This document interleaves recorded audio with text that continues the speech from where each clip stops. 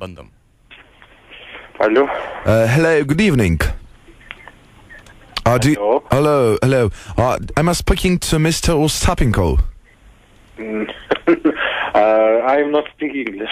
uh, you don't speak English really well. Do you understand what I am saying over here right now?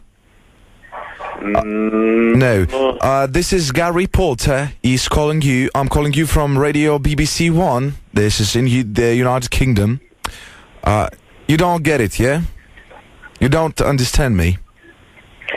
Uh, listen up, listen up, listen carefully. I've, right, I've got a consultant here. I have a translator. I hope she, he will he will help me. One one moment, please. Uh, Jonas, please come on here. Come here. Please yes, help me to speak uh, with uh, Mr. Ostapenko. Uh, please Ostapenko, tell him yeah? yeah uh, I'm really interested in his song I have uh, his song is uh, All right. uh, about bicycle. Alright. Can you see it? Uh, labas vakaras. Labas. Uh, atsiprašom, čia o, mano kolega Garis uh, Poteris, mes tiesiog dabar esame Lietuvoje, jisai pirmas paskambino, šiaip turėjau aš skambinti. Uh, su Ostapenko kalbu, ar ne? Nu jo, aš nesupratau, kas šis iš vis. Uh, Gary Poteris yra tiesiog uh, produceris iš Londono, jisai dabar atvykęs yra į Lietuvą ir jisai yra susidomėjęs jūsų daina apie dviratukus. Aš pats Yeah, nesu uh, tell him we don't have anything like this in United Kingdom. It's absolutely unique. A, kaip jis sako, tokios dainos a, Anglijoje jie neturi, tai yra labai unikalu ir Yeah, jis it's nori really vieną, unique. vieną pasiūlymą jums duoti. And I have a suggestion for him. Is he interested in working with uh, other? Čia ne Pro- prikolas yra, ne? is he interested in working with producers from abroad? A, Ar, ponas Ostapenko, jūs a, susidomėtumėte, tarkim, a, dirbti arba bent jau bandyti sukurti vieną produktą su būtent produceriu Gary Potteriu? Kokį produktą? Uh, which, uh, What project? Yeah. Uh, it's in. A, it's just a song, another song. Uh, tai Uh, tik daina, kaip yeah. jisai sako. Uh, it's like something like bicycle, but in English. a, kažkas panašaus į dviratuką, bet in, a, anglų kalba. Žinokit, nu, ką aš dabar galiu jums atsakyti, aš ne, net neįsivaizduoju, su kuo aš neku. Gal, gal čia kažkas juokauja. Uh, Gary He's not interested at all.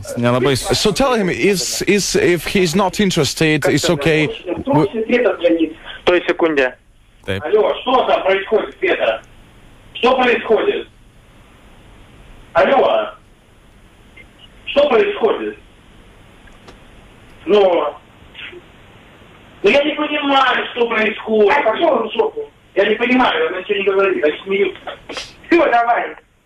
Alio, Uh, jūs grįžot, ar ne? jo. Uh, Gary. Yeah, he's back. All Yeah, right. Well, back. what is wrong? Really, if he don't want or he's not interested, Ar it's all right. susidomėjot, ar, ar jums I net know, neįdomu? because uh, we have another one. Is uh, uh, what's his name? I don't really know. Uh, maybe.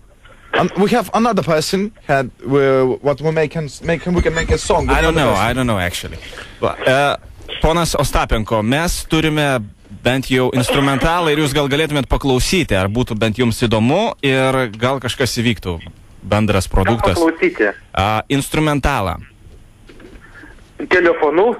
Pradžiai telefonu. Yeah, we, uh, because we have uh, uh, some words. Žinokit, žinokit, žinokit, jaučiu, kad e, jūs čia prikolinat ir kažkas Listen, juokauja. E, Jaučiu, kad čia jūs skambinat iš kažkokios, iš kažkokios Lietuvos radijos stoties. Uh, ir dabar jaučiu mano balsas, kur nors eina čia Lietuvoje eterį. Ne? Listen carefully. Klausykite įdėmiai.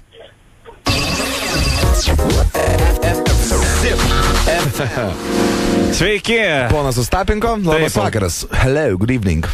Labas vakaras. Zip FM radio stotis ir radistai Jonas ir Rolandas. Sveiki, kaip sakant, kaip vakaras, ar nesutrukdėm? Alio, Alio, alio, kaip vakaras jum, ar nesutrukdėm? Nesutrukdėt. Bet mes nekalti. Mes skambinam užsakymų panelės žurnalas, užsakė šį nuostabų skambutį, mums gražiai padiktavo jūsų telefonų numerį. A, Matot, panelės žurnalas švenčia savo 15 gimtadienį ir labai kviečia jūs. Taip, birželio 6 dieną Vilniaus senamestyje prasidės 12 val. visas veiksmas, tai kviečia ponas Ustapenko ir jūs prisijungti. Birželio kokią dieną? 6 dieną, šeštadienį. Birželio 6. Taip, tai jeigu turėsit laiko ir noro, prašom, būtinai atvažiuokit.